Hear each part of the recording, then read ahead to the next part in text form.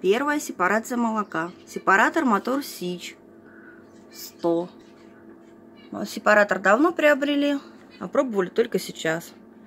В банках без крышек козье молоко, уже проведенное через сепаратор. С крышками сливки.